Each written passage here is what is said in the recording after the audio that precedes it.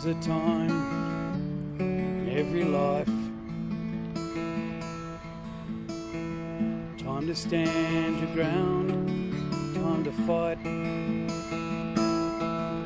And some you win, some you lose. You can't just walk away.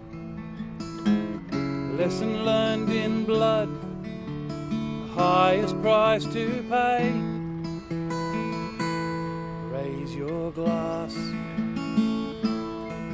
to a hundred years of freedom. Raise your glass to the men who gave us all. Raise your glass. Give thanks for this country. There's a generation never coming home.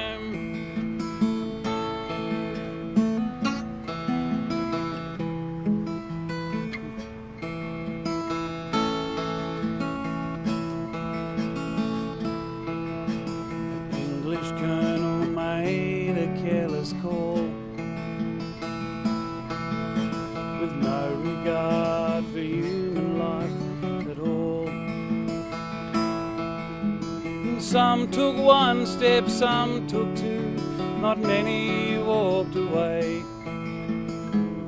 Beaches flowed with blood, the highest price they paid. Raise your glass to a hundred years of freedom. Raise your glass to the men who gave us all. Raise your glass.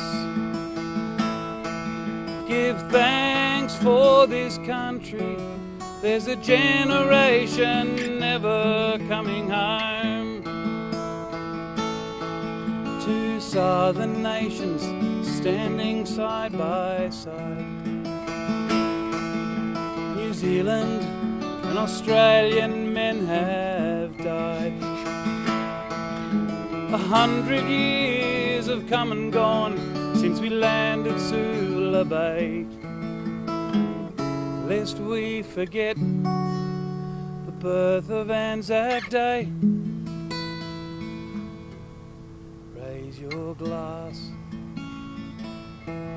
to a hundred years of freedom. Raise your glass to the men who gave us all. Raise your glass. Give thanks for this country. There's a generation never coming home. Raise your glass to a hundred years of Anzac. Raise your glass to the men who gave us all. Raise your glass. Give thanks for Australia. There's a generation never coming home. There's a generation never coming home.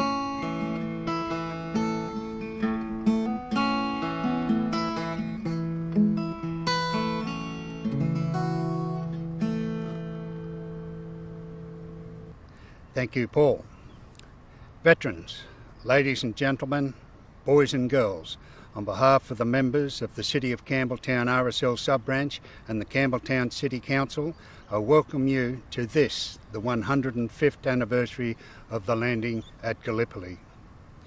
This year, Anzac Day is commemorated in Australia in a very different way than the one we are accustomed to and I would like to thank our Mayor and the City Council of Campbelltown for the opportunity and the work they have done so this, the City of Campbelltown RSL sub-branch, can bring to you an Anzac Day service via the electronic means.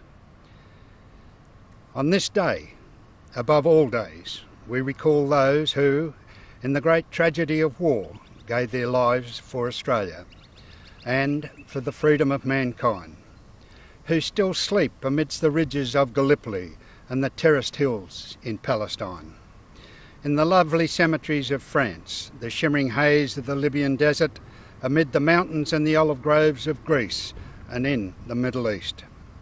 in the jungles of Malaya, New Guinea, and the Pacific Islands, rugged Korea and the land of Vietnam, in the Persian Gulf, Iraq, and Afghanistan, who among the loving friends in our mother country and our own lands, and in the unknown resting places in every continent and every sea.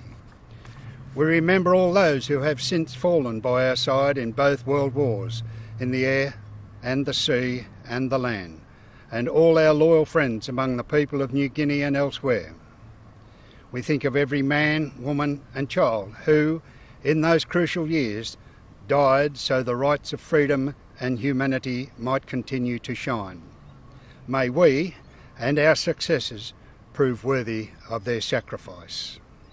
I would now like to invite the Mayor of Campbelltown, the Councillor George Brticevic, to lead us in the prayer of thanksgiving. Almighty God, our Heavenly Father, remember with thanksgiving those who made the supreme sacrifice for us in time of war. We pray that the offering of their lives may not have been in vain. Guide the leaders of this and every nation and give them the understanding of your righteous will, and that the tragedy and horror of war may be averted for the coming generations. And men and women everywhere may be able to live in freedom and fellowship within your kingdom. By your grace, enable us this day to dedicate, dedicate ourselves anew to the cause of justice, freedom, and peace, and give us the wisdom and strength to build a better world for the honour and glory of your name. Amen. Thank you, George. To deliver the prayer for the Queen, I invite the State Member for Campbelltown, Mr Greg Warren, MLA. Prayer for the Queen. Lord God, we pray for your servant Elizabeth. Set over us in your providence to be our Queen.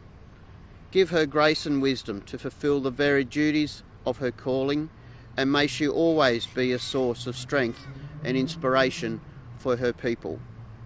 We thank you for the peoples of many races, languages, and cultures who are bound together with us in commonwealth. Deepen our understanding of each other's needs, strengthen among us the spirit of mutual responsibility and service as members of one family through Jesus Christ our Lord. Amen. Thank you, Greg. For the prayer for the nation, I now invite the federal member for Macarthur, Dr. Mike Freelander, MHR. Prayer for the nation. God and Father of us all, graciously bless this, our nation, and send out your light and your truth to lead us in the paths of justice and peace. Give wisdom to those who exercise authority in the government of our land. Remove all causes of contention and strife among us. Unite us in the service of your kingdom. Look graciously upon us in this time of our nation's sorrow and loss. Give us comfort, keep us steadfast, uphold our faith, and enable us to find in your refuge and strength now and always through Jesus Christ our Lord. Amen. I would now invite all to join in the hymn, The Recessional.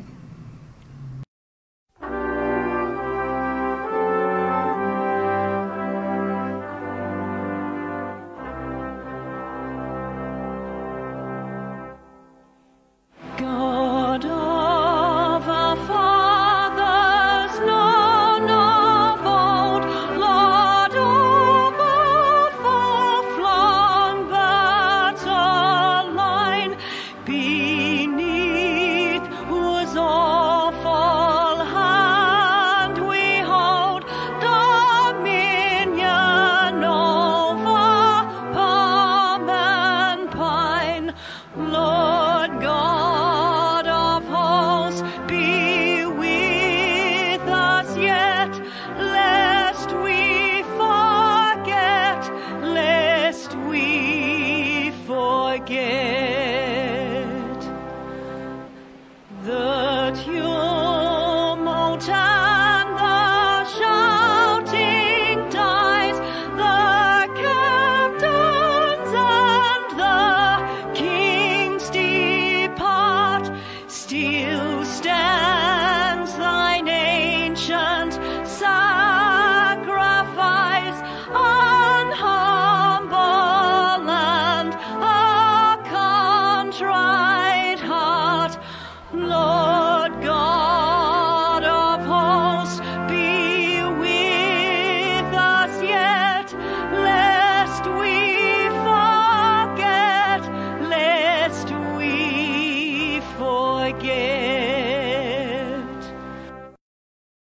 To give the commemorative address for 2020, I now welcome from St Patrick's College for Girls in Campbelltown, Miss Mackenzie McAvoy King.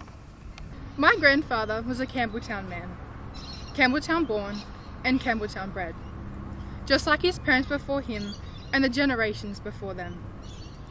My grandfather was a primary producer, supplying Sydney with fresh milk, and although he himself had never experienced firsthand the horrors of war, he certainly saw the impact. He saw the damage it caused to those who remained on the home front, and the impact that war had on soldiers once they came home. My grandfather would tell me incredible stories of the area. Some stories he had personally witnessed, yet many stories had been passed down. The stories that particularly captivated me the most and left a life lasting impression are the raw and sad stories that relate to war. From a very early age, his stories gave me deep interest in Australian wartime involvement and especially understanding the impact that war had on those who were left behind. My grandfather told me of a local woman. She had just one son.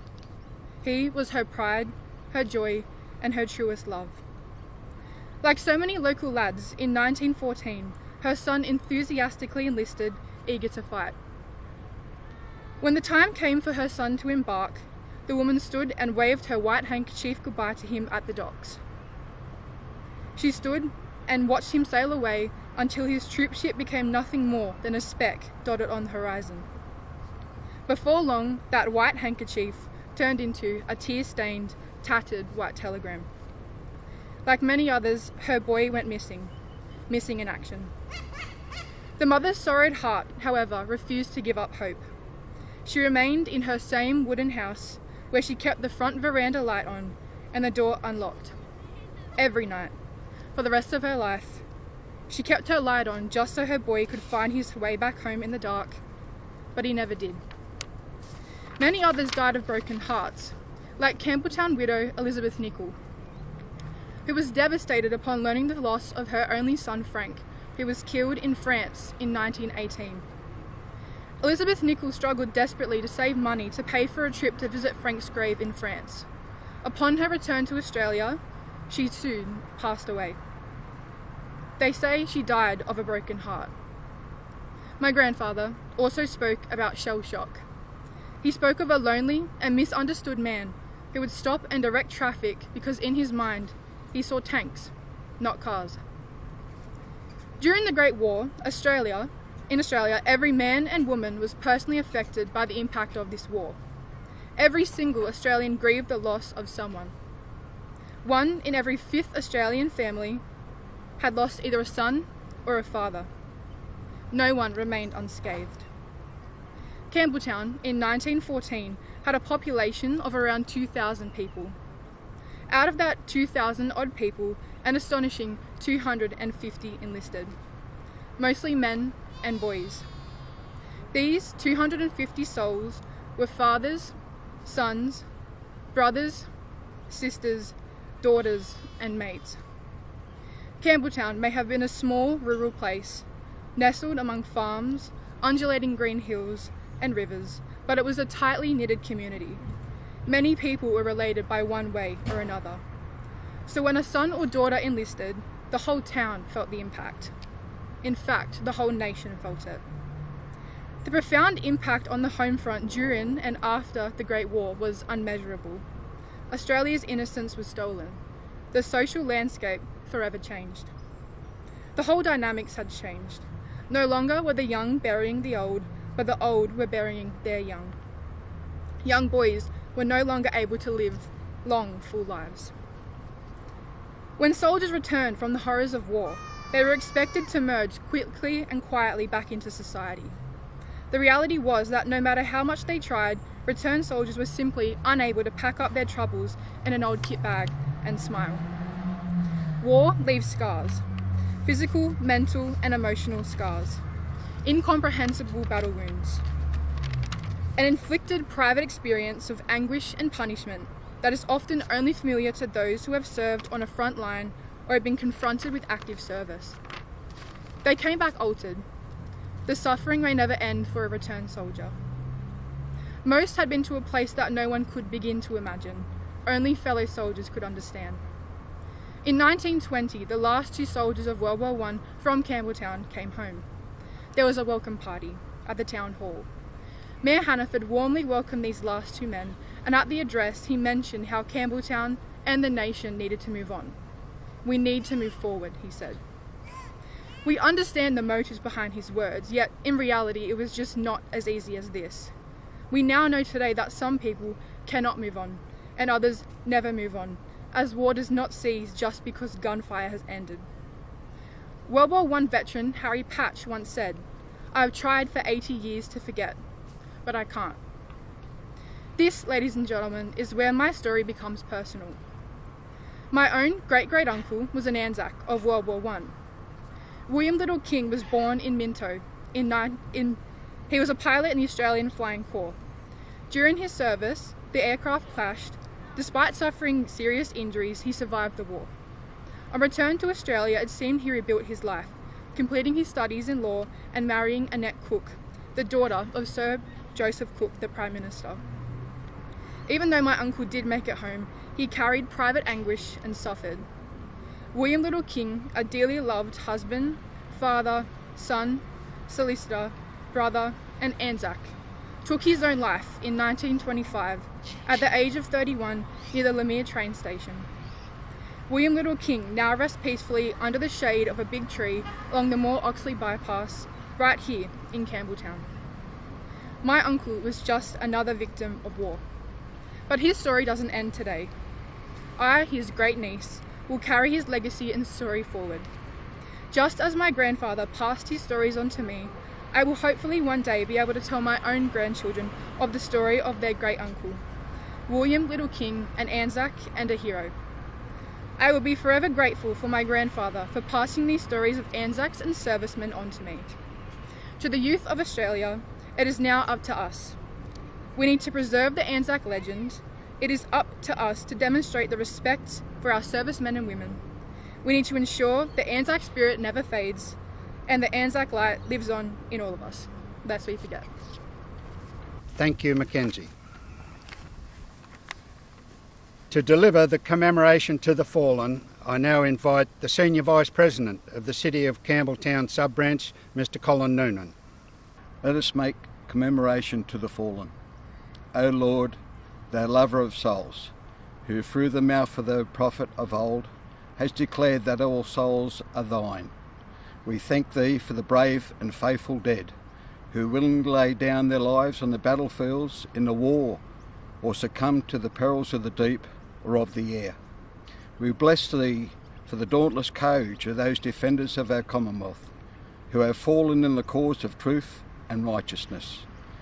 In thy hands, O Father, we leave their departed spirits. Grant us to follow their good example in faithfulness and endurance, even unto death, that we may with them be found worth of a crown of everlasting life.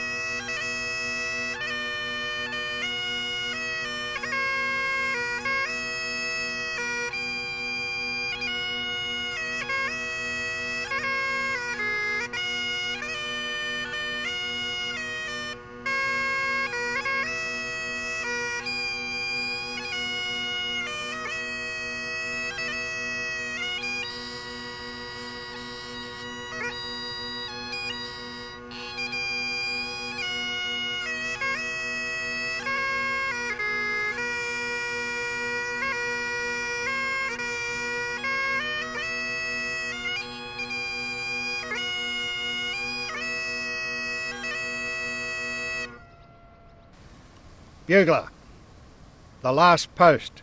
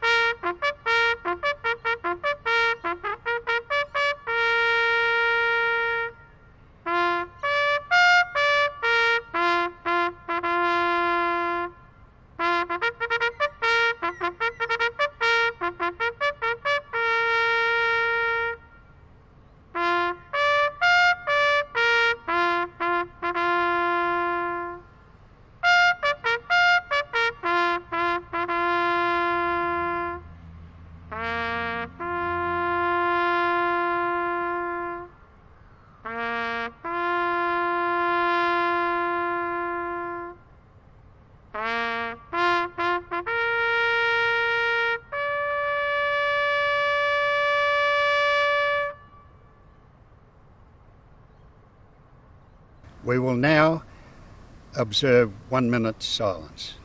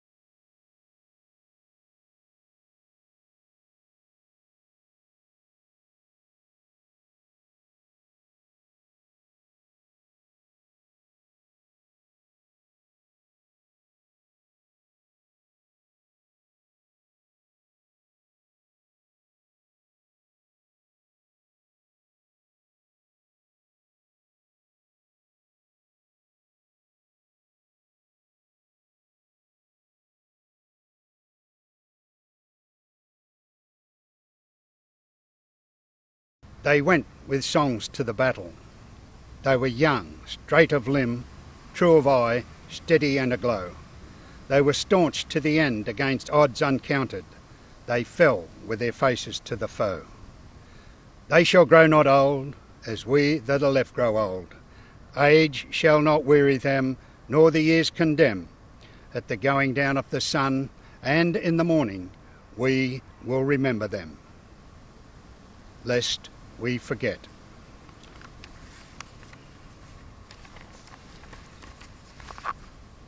Bugler, sound Reveille.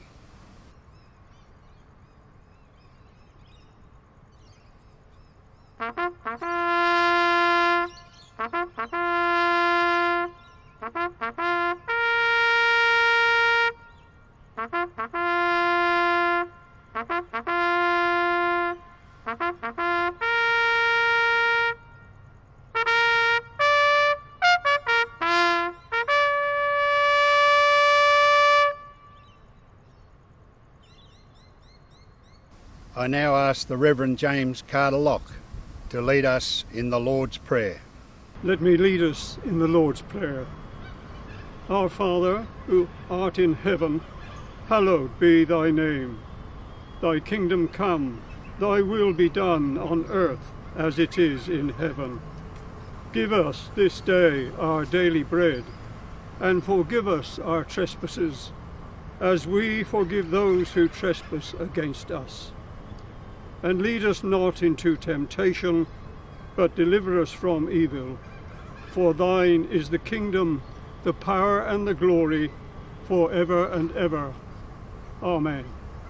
I will now ask you all to please pause for the national anthems of New Zealand and Australia.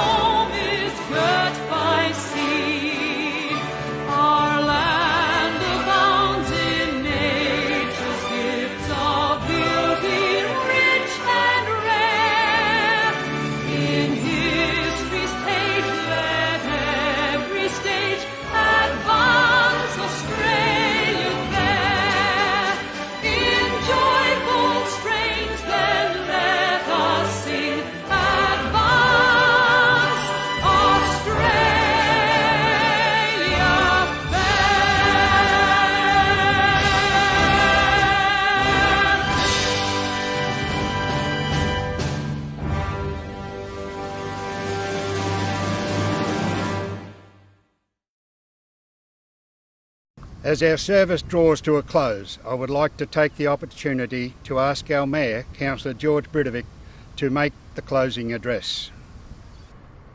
Anzac Day is among the most important events in every Australian's calendar and holds a special place in the hearts of our community. The Gallipoli landings and the Anzac story is one of the most important parts of our nation's history and is seen by many as a defining moment in our nation, nationhood. It is a story of resilience in the face of adversity. This message is particularly relevant in these difficult times when many in our community face unprecedented challenges and upheaval in their lives. Now more than ever, we must tap into the enduring legacy of our Anzacs. They taught us the value of mateship and to look out for the bloke beside you. That message of mateship is one we must take into our daily lives now to protect and care for the most vulnerable of our community. I urge everyone to check in on your loved ones using the technology we have available to us and help out those elderly relatives or people in your street who must stay home during this health crisis. I can think of no greater tribute to the Anzacs and their sacrifice than following the example they have set for us and sharing the responsibility within our community. I'd like to thank all the people who have been part of this ceremony and helped bring this unconventional Anzac Day service to our community. I'd particularly like to acknowledge Warren Browning, President of the Campbelltown RSL sub branch, for his work in helping to organise this event alongside council staff in such a short period of time. I thank you all again for attending this online service, and I hope you all stay well and stay safe during these difficult times. Thank you, Your Worship. I would like to say a quick thank you to our Mayor, Councillor George Brticevic, the CEO of Campbelltown City Council, Ms Lindsay Dietz, and her staff, especially Natalie Visitt and Belinda Barron, who have worked so hard under the current restrictions to put this together and allow the sub-branch to present an Anzac Day service to you, the people of Macarthur. Thank you also to local musician Paul Grierson for again setting the mood of Anzac Day with his own composition Raise a Glass. Thank you to our piper Jan Parsons and bugler Gary Badger and to Mackenzie McAvoy King, a wonderful address, one that I felt that really came from the heart. We thank you. Veterans, Ladies and gentlemen, boys and girls, that concludes our service for this, the 105th anniversary of the landing at Gallipoli. I hope by this time next year things will have returned to normal and we are able to bring you, as usual, both the dawn and main services from Mawson Park here in Campbelltown. Thank you.